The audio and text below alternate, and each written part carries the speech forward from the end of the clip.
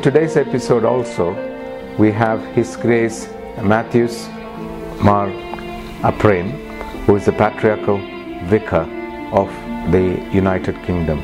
ബാറക്കുമോ തിരുമേനി തിരുമേനി നമ്മുടെ സഭയിൽ ഈ വിശുദ്ധ കുർബാനയ്ക്കുള്ള ഇമ്പോർട്ടൻസ് എന്നാണ് വിശുദ്ധ കുർബാന സുറിയാനി സഭാ പാരമ്പര്യത്തിൽ ആരാധനയുടെ കേന്ദ്ര ബിന്ദുവാണ് സഭയെക്കുറിച്ചുള്ള പ്രധാന നിർവചനം തന്നെ വിശുദ്ധ കുർബാനയ്ക്ക് കൂടുന്ന സമൂഹം എന്നുള്ളതാണ്. അതുകൊണ്ട് സഭയെ പൂർണമാക്കുന്നത് വിശുദ്ധ കുർബാനയാണ്. ഇപ്രകാരം പറയപ്പെടുന്നു എവിടെ വിശുദ്ധ കുർബാന അർപ്പിക്കപ്പെടുന്നുവോ അവിടെ സഭ പൂർണവും. എവിടെ വിശുദ്ധ കുർബാന അർപ്പിക്കപ്പെടുന്നില്ലയോ അവിടെ സഭ അപൂർണവുമാണ്. അതുകൊണ്ട് നമ്മുടെ എല്ലാ കൂട്ടായ്മകളെയും ആരാധനകളെയും സഭയുടെ എല്ലാ ശുശ്രൂഷകളെയും പൂർത്തീകരണം കണ്ടെത്തുന്നത് വിശുദ്ധ കുർബാനയിലൂടെയാണ്. പുതിയ പണ്ഡിതനായ ഓസ്കർ കോൾമാൻ പ്രകാരം രേഖപ്പെടുത്തിയിട്ടുണ്ട്. പുതിയ നിയമത്തിൽ എവിടെ ആരാധന എന്ന് വിവക്ഷിക്കുന്നുവോ അവിടെയെല്ലാം വിശുദ്ധ കുർബാനയുള്ള ആരാധനയാണെന്ന് രേഖപ്പെടുത്തിയിരിക്കുന്നു. ആദിമസഭയുടെ ഒരു പ്രധാന കൂടിവരവാണ് അപ്പോസ്തല പ്രവൃത്തി രണ്ടാം അധ്യായം നാൽപ്പത്തിരണ്ട് മുതൽ വാക്യങ്ങൾ കാണുന്നത്. അവിടെ പ്രധാനമായിട്ടും അപ്പോസന്മാർ കൂടി വരികയും അവിടെ യുക്കാർസ്ത്യ ഖണ്ഡനം ഉള്ളതായിട്ട് രേഖപ്പെടുത്തിയിരിക്കുന്നു. അതുകൊണ്ട് സഭയുടെ കൂടിവരവിന്റെ ഏറ്റവും പ്രധാന ഭാഗം എന്നുള്ളത് യൗഖാർസ്ത്യ ഖണ്ഡനം തന്നെയാണ്. വിശുദ്ധ കുർബാനയെക്കുറിച്ച് it has been mentioned in many parts of the New Testament അത് എവിടെയൊക്കെയാണ് വിശുദ്ധ കുർബാനയെക്കുറിച്ച് രേഖപ്പെടുത്തിയിരിക്കുന്ന ആദ്യത്തെ വിവരണം പരിശുദ്ധനായ പൗലോസ് ശ്രീഹ കൊരിന്തിർക്കെഴുതിയ ഒന്നാം ലേഖനം പതിനൊന്നാം അധ്യായം ഇരുപത്തിമൂന്ന് മുതലുള്ള വാക്യങ്ങളാണ്. തുടർന്ന് മത്തായുടെ സുവിശേഷം ഇരുപത്താറിന്റെ ഇരുപത്താറാം വാക്യത്തിലും മർക്കോസിന്റെ സുവിശേഷം പതിനാലാം അധ്യായം ഇരുപത്തിരണ്ടാം വാക്യത്തിലും ലൂക്കോസിന്റെ സുവിശേഷം ഇരുപത്തിരണ്ടിന്റെ പതിനഞ്ചിലും യോഹന്നാന്റെ സുവിശേഷം ആറാം അധ്യായത്തിലും വിശുദ്ധ കുർബാനയെക്കുറിച്ച് രേഖപ്പെടുത്തിയിട്ടുണ്ട്. വിശുദ്ധ കുർബാനയുടെ what is the theological significance of it സുറിയാനി സഭയുടെ പഠിപ്പിക്കലനുസരിച്ച് വിശുദ്ധ കുർബാന കർത്താവിന്റെ തിരുബലിയുടെ തുടർച്ചയാണ്. കർത്താവിന്റെ തിരുബലി ഒരിക്കലായിട്ട് അർപ്പിക്കപ്പെട്ടിരിക്കുന്നു. അത് വീണ്ടും ആവർത്തിക്കപ്പെടുന്നില്ല. എന്നാൽ വിശുദ്ധ കുർബാനയിലൂടെ ആ തിരുബലിയുള്ള പങ്കാളിത്തവും അതിന് തുടർച്ചയുമാണ് നമുക്ക് ലഭിക്കുന്നത്. കർത്താവിന്റെ തിരുബലി ലോകത്തിന് മുഴുവനും ആയതുകൊണ്ട് വിശുദ്ധ കുർബാന അർപ്പിക്കപ്പെടുന്നത് ലോകത്തിന് മുഴുവനും വേണ്ടിയാണ്. ഇംഗ്ലീഷിൽ പ്രകാരം പറയുന്നുണ്ട് വിശുദ്ധ കുർബാനയിൽ കോസ്മോസ് ബിക്കംസ് എക്ലേസിയ. അതായത് പ്രപഞ്ചം മുഴുവനും കർത്താവിന്റെ യാഗപീഠത്തിന്റെ തിരുസന്നിധിയിലേക്ക് കൊണ്ടുവരുന്ന ഒരു മഹത്തര ശുശ്രൂഷയാണ് വിശുദ്ധ കുർബാന. വിശുദ്ധ കുർബാനയുടെ രണ്ടാമത്തെ വേദശാസ്ത്ര പ്രത്യേകത മനുഷ്യാവതാര രഹസ്യത്തിന്റെ പുനരാവിഷ്കരണമാണ്. അതായത് വിശുദ്ധ കുർബാനയിൽ കർത്താവിന്റെ ജനനം മുതൽ കർത്താവിന്റെ രണ്ടാം വരവ് വരെയുള്ള മുഴുവൻ സംഗതികളും സൃഷ്ടി മുതൽ രണ്ടാം വരവ് വരെയുള്ള മുഴുവൻ സംഗതികളും ഓർമ്മ ഓർക്കുകയും വിശ്വാസികൾക്ക് അതിലുള്ള പങ്കാളിത്തം ലഭിക്കുകയും ചെയ്യുന്നു. വിശുദ്ധ കുർബാനയിൽ കർത്താവിന്റെ ജനനം മരണം ഖബറടക്കം ഉയർത്തെഴുന്നേൽപ്പ് രണ്ടാമത്തെ വരവ് തുടങ്ങിയ എല്ലാ ക്രിസ്തു സംഭവങ്ങളും ഓർക്കപ്പെടുന്നുണ്ട്. അതുകൊണ്ട് തന്നെ വിശുദ്ധ കുർബാന കർത്താവിന്റെ മനുഷ്യാവതരഹസ്യത്തിലെ പങ്കാളിത്തം പോലെ തന്നെ സുവിശേഷത്തിലുള്ള പങ്കാളിത്തമാണ്. സുവിശേഷം എന്നത് കർത്താവിന്റെ മനുഷ്യാവതാരത്തെ ലോകത്തോട് പ്രഘോഷിക്കുന്നതാണ്. ഓരോ വിശ്വാസിയും ഓരോ ഞായറാഴ്ചയും ഈ മനുഷ്യാവതാര രഹസ്യത്തിൽ പങ്കാളികളായിത്തീരുന്നു. വിശുദ്ധ കുർബാനയുടെ മൂന്നാമത്തെ പ്രത്യേകത വിശുദ്ധ കുർബാന നിത്യജീവന് വേണ്ടിയുള്ളതാകുന്നു. പരിശുദ്ധ സഭയിൽ ഒരു വിശ്വാസിയുടെ നിത്യജീവൻ വിശുദ്ധ കുർബാന അനുഭവമായിട്ട് ബന്ധപ്പെട്ടാണ് നിൽക്കുന്നത്. ഒരു വിശ്വാസിയുടെ ഉയർപ്പിൽ കർത്താവിന്റെ തിരുശരീര രക്തം ഭക്ഷിച്ചവർക്കാണ് ഉയർപ്പിന്റെ സാധ്യതകൾ ഉള്ളത്.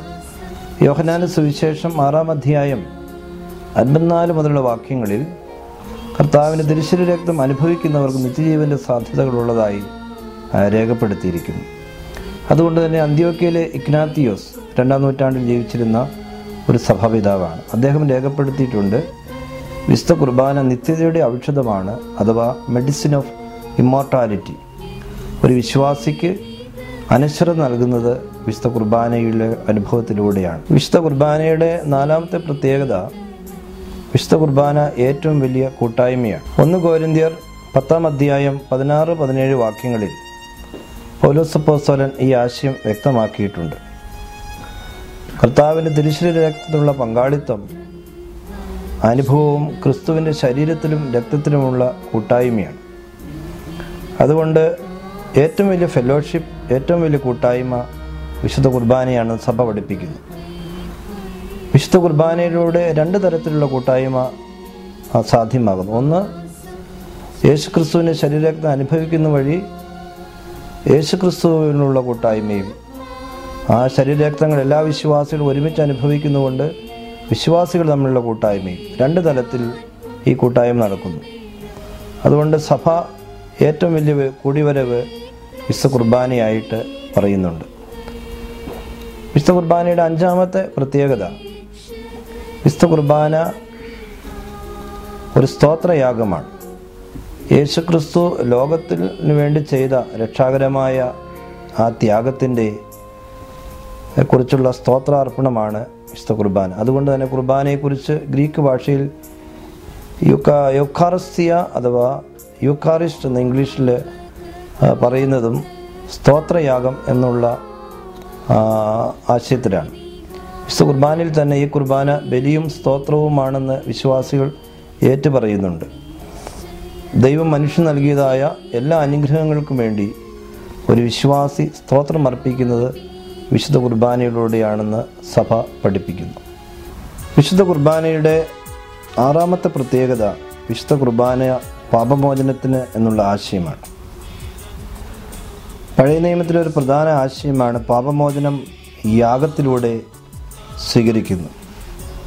പ്രത്യേകിച്ച് സംഖ്യാപുസ്തകം അഞ്ചാം അധ്യായം ആറാം വാക്യം ലേവ്യപുസ്തകം അഞ്ചാം അധ്യായം അഞ്ച് മുതൽ പത്ത് വരെയുള്ള വാക്യങ്ങൾ ലേവ്യപുസ്തകം പതിനാറിന്റെ ഏഴ് തുടങ്ങിയ ഭാഗങ്ങളിലെല്ലാം യാഗത്തിലൂടെ പാപമോചനം ലഭിക്കുക എന്നുള്ള ആശയം കാണുന്നു. യേശുക്രിസ്തു വിശുദ്ധ കുർബാന സ്ഥാപിക്കുന്നതായ ഭാഗത്ത് പ്രത്യേകിച്ച് മത്തായുടെ സുവിശേഷം ഇരുപത്താറാം അധ്യായം ഇരുപത്താറ് മുതൽ ഇരുപത്തി വരെയുള്ള വാക്യങ്ങളിൽ എന്റെ ശരീരം പാപമോചനത്തിന് വേണ്ടി സ്വീകരിക്കുവാനായിട്ട് ആഹ്വാനം ചെയ്യുന്നുണ്ട്. അതുകൊണ്ട് സഭ പാപമോചനം എന്ന ആശയം പഠിപ്പിക്കുന്നത് വിശുദ്ധ കുർബാനയുടെ അനുഭവത്തിലൂടെ മാത്രമാണ് പാപമോചനം പൂർണമാകുന്നുള്ളൂ അതുകൊണ്ട് വിശുദ്ധ കുംഭസാരം പാപമോചനം പാപം ഏറ്റുപറയുന്നതോടൊപ്പം തന്നെ അത് പൂർത്തീകരിക്കുന്നത് വിശുദ്ധ കുർബാന അനുഭവിച്ചുകൊണ്ടാണ്. ഈ പാപമോചന സാധ്യത വിശുദ്ധ കുർബാനയിലൂടെയാണ് സഭ നൽകുന്നത്. അതുകൊണ്ട് കുർബാന ഒരു വിശ്വാസിയെ സംബന്ധിച്ചിടത്തോളം ഏറ്റവും പ്രധാനപ്പെട്ട ഒന്നാണ്. ഈ ഒരു ആശയത്തിൽ നിന്നുകൊണ്ടാണ് പ്രത്യേകിച്ച് മരണ അവസ്ഥയിലായിരിക്കുന്ന വിശ്വാസികൾക്കും പാപമോചനത്തിന് സാധ്യത ലഭിക്കുവാൻ വേണ്ടി വിശുദ്ധ കുർബാന കൊടുക്കുന്നതും ഈ അടിസ്ഥാനത്തിൽ നിന്നുകൊണ്ടാണ്. വിശുദ്ധ കുർബാനയുടെ അവസാനത്തെ പ്രത്യേകത വിശുദ്ധ കുർബാന സമ്പൂർണ ആരാധനയാണ്. എന്ന് പറഞ്ഞാൽ വിശുദ്ധ കുർബാനയിൽ ഒരു മനുഷ്യന്റെ അഞ്ച് ഇന്ദ്രിയങ്ങളും ഒരുപോലെ പങ്കാളിയാകുന്നു. രണ്ടാമത്തെ പ്രത്യേകത വിശുദ്ധ കുർബാന വഴിയെ സ്വർഗവും ഭൂമിയുമായിട്ട് ബന്ധിപ്പിക്കുന്നു. സ്വർഗത്തിലെ മാലാഖമാരും വിശുദ്ധന്മാരുമായുള്ള ഒരു ബന്ധം വിശുദ്ധ കുർബാനയിലൂടെ നമുക്ക് ലഭ്യമാകുകയാണ് അതുകൊണ്ട് തന്നെ ഇത് സ്വർഗീയ ആരാധനയിലുള്ള പങ്കാളിത്തം കൂടിയാണ്. മൂന്നാമത്തെ പ്രത്യേകത വിശ്വ കുർബാനയിൽ ജീവനുള്ളവരും മരിച്ചുപോയവരും ഒരുമിച്ച് പങ്കെടുക്കുന്നു. കർത്താവിന്റെ ക്രൂശിലെ യാഗങ്ങൾ യാഗം വഴി കർത്താവിന്റെ ക്രൂശിലെ യാഗം വഴി ജീവിച്ചിരിക്കുന്നവർക്ക് മാത്രമല്ല കർത്താവിന് മുമ്പ് വാങ്ങിപ്പോയവർക്കും ആ യാഗത്തിന്റെ തിരുബലിയുടെ ഫലം കാൽവറി യാഗത്തിന്റെ ഫലം ലഭിച്ചു. അപ്രകാരം തന്നെ വിശുദ്ധ കുർബാന അർപ്പിക്കുന്ന വഴി ജീവിച്ചിരിക്കുന്നവർക്ക് മാത്രമല്ല വാങ്ങിപ്പോയവർക്കും അതിന് അനുഗ്രഹം ലഭിക്കുന്നു. ഈ അർത്ഥത്തിലാണ് വിശുദ്ധ കുർബാന സമ്പൂർണ ആരാധനയാണെന്ന് പറയപ്പെടുന്നത്.